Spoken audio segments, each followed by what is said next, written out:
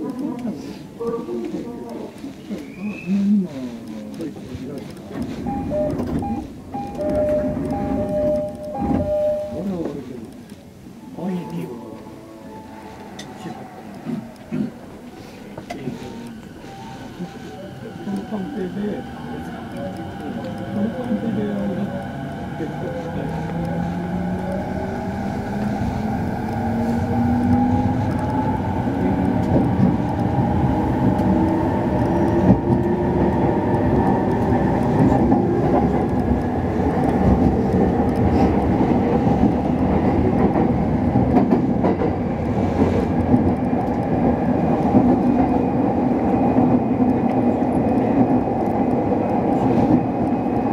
車ありがとうございました。次は千葉終点の千葉です。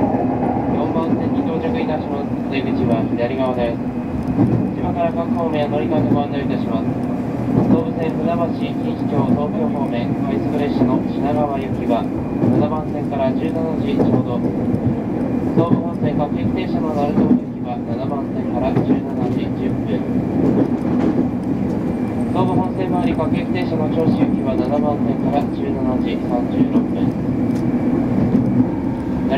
り成田佐原方面各駅停車の銚子行きは9番線から17時4分日橋木見川幕張方面東武線各駅停車は1番線2番線にお乗り換えですお降りの際車内に落とし物をお忘れ物なさいませんようお気をつけください今日も JR 東日本をご利用くださいまして誠にありがとうございました担当は鴨川運輸鉄道でした。